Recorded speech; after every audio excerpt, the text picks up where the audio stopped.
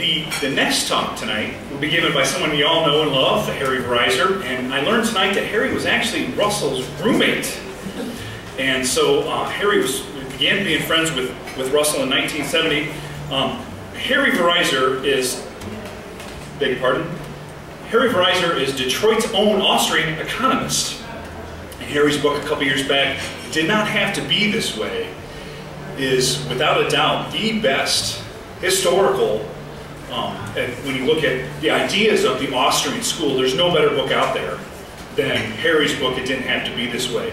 And so if you're really looking for a book that will teach you from the ground floor up, brick by brick, what the Austrian economists contributed and the order in which they contributed, there's no better book than to read Harry's.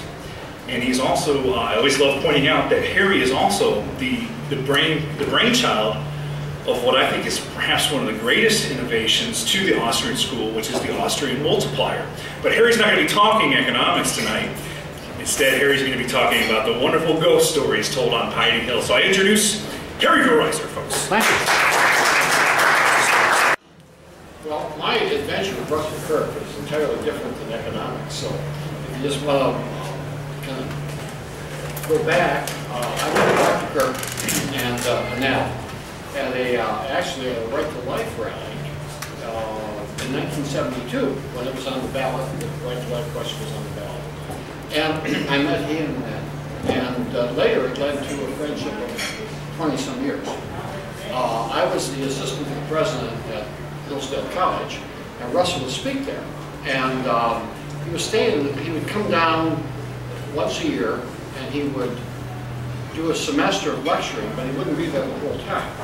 And so he would stay with uh, in this motel, and I said, Dr. Kirk, I've got an extra room in my apartment.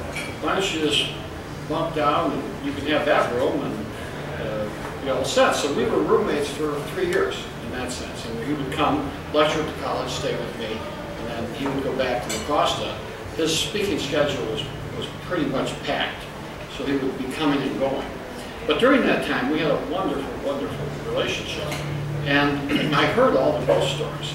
In addition, Russ, I found out that Russell was um, given instructions in the Catholic faith by my Latin teacher and mentor at the University of Detroit, Father O'Neill. So we had a number of connections, including the fact that Russell was born in the same month, in the same year as my dad. So there was a, a real connection there. But to come to the ghost stories, you have to understand what was a spiritualist phenomenon that lasted all from about the 1890s into the 1920s. And that was where people would actually come to houses and they would do seances. They attempt to contact the dead. I think that pretty much died out with the death of, of Harry Houdini, who died here in Detroit. And Houdini was big into that. And Arthur Conan Doyle was big into that. it was big in England. Came to the United States. And my mother even told me stories of neighbors that would have these seances. And we would call them spiritualists. So Russell's family was heavy into this. They were, by religion, Swedenborgians. Uh, and they would hold these seances.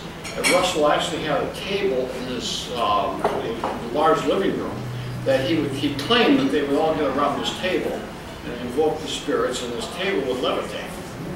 They could levitate the table, not by picking up from the bottom, but by, on the top, which indicates the presence of spirits. And I asked Dr. Kirk one time, I mean, he remembered that he was he grew up in this milieu of spiritualism. He converted to Catholicism in 1964. But before that, he was an expert at reading tarot cards. And Halloween was his favorite holiday. And anybody who has not ever celebrated Halloween has never been to Mecosta at that time. Because he would put his doctoral robes on, which uh, from the uh, University of um, St. Andrews was a bright yellow.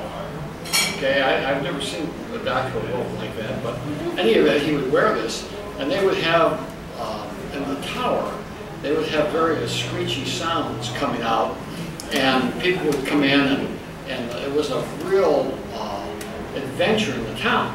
and of course all the kids would come up and Russell would have all the spook house kind of things and he would talk to them. about his more interesting stories, And he told me, he said, uh, he gave up the tarot cards completely because he told something with Annette.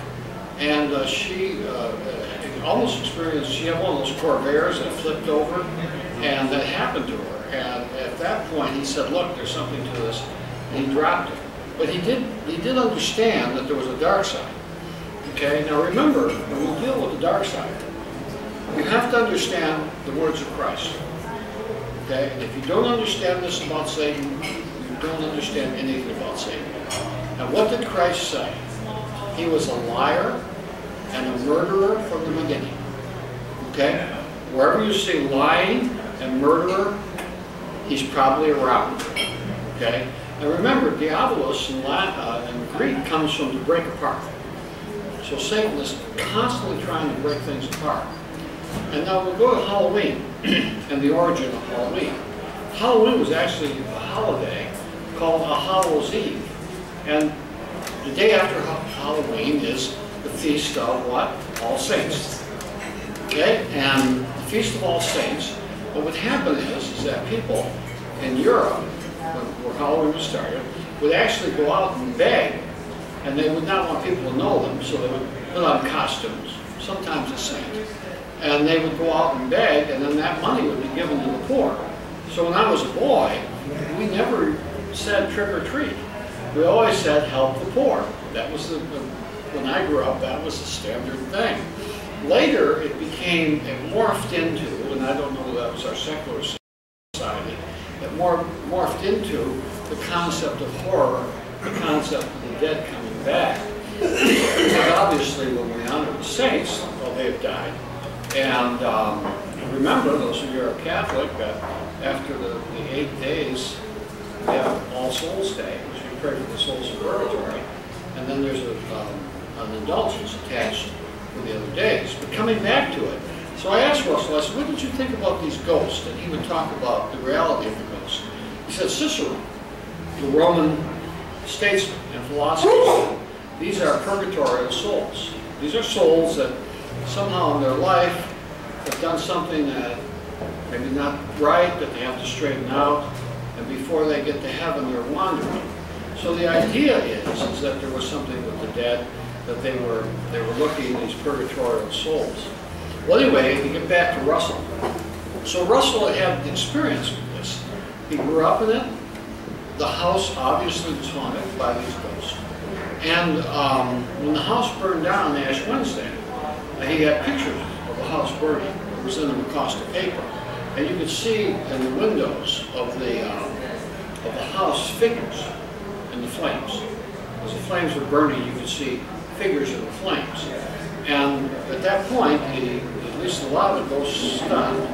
But what people were used to hear would come there is they would hear typewriters, or they would hear a baby crying. And so uh, I asked Russell about that. And uh, uh, Jim told you about the two that, uh, that Monica saw, these two ghosts. Now after the house burned down, they were gone.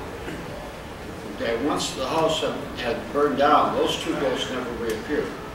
But there was no question that I think the spiritualism had attracted the spirits. And there is another world of those spirits that come and had attracted them. And uh, wherever there was something like suicide or something like that, you will see in those houses uh, there's a, uh, a presence, okay? Um, and it's um, it's the presence of discord.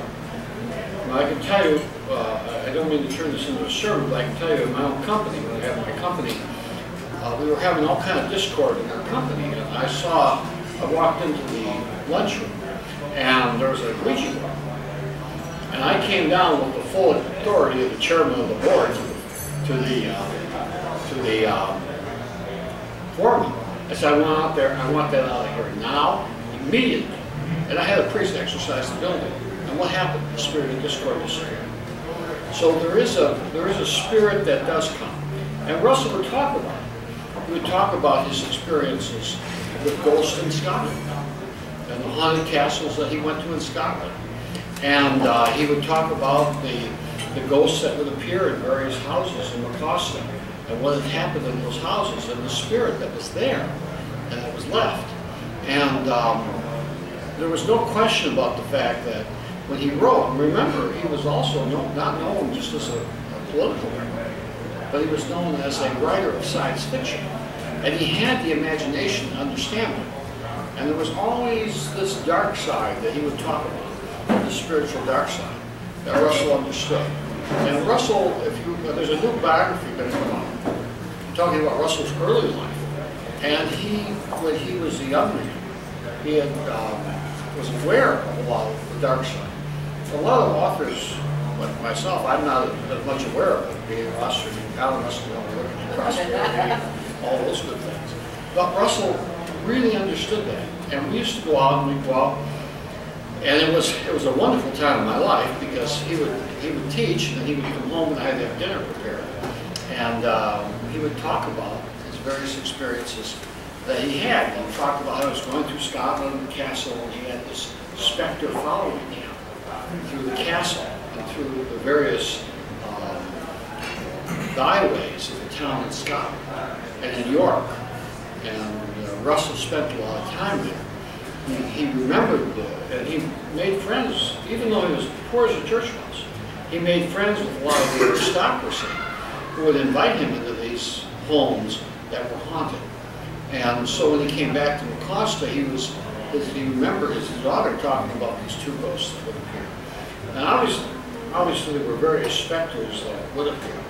But uh, in a sense, if you up there today, um, I have never experienced it, and I haven't talked to anybody for a number of years who experienced it. And I think the reason was is that Annette had the house exorcised. Okay, and uh, that's a very important thing. Uh, my warning to you uh, is this, is I have a, a, priest friend of mine, he's passed away, who was the exorcist for the city, uh, for the Diocese of Detroit, Father Kosicki. And he would tell me stories of. And I would tell you this, do not ever touch Ouija boards, tarot cards, or anything else, because he said that what's happening is a lot of people are picking up a spirit that they may not want. And remember the story of Saul.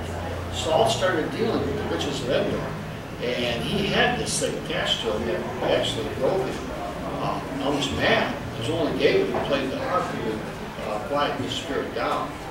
So, do these spirits exist? Yes. Should you avoid them? Absolutely. Don't touch anything to do with it. And Russell then converted, um, was baptized, and then married in that. And um, he himself said he would never touch the tarot cards again, never really touch that. But he said the tarot, he knew how to read tarot cards. And he knew that part of, um, of uh, the, uh, the order. He knew the spiritual part of the order done correctly. And he said, yes, he says, this stuff does work. And I remember we talked about a woman by the name of Madame Blavatsky. I remember the stuff started in England. Arthur Conan Doyle was involved in it. It started with Madame Blavatsky. And he said, he said, uh, Russell said to me, well, he said, uh, you know, he said, she had certain powers. I've looked at pictures of her, and the eyes are something to behold. And um, I, will finish because I want to let our author uh, short stories go on. But um, Chesterton said, the danger with superstition isn't that it doesn't work, but that, that it does. So I'll finish on that uh, note tonight, and I'll turn it over to our next speaker.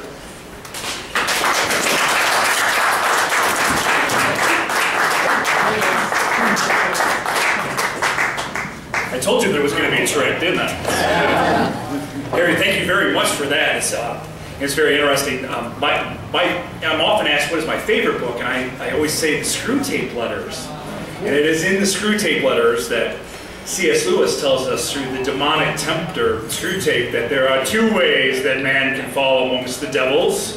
One is to have an unhealthy attraction for them, and the other is to not believe in their existence. And so, thank you very much for, the, for that. Uh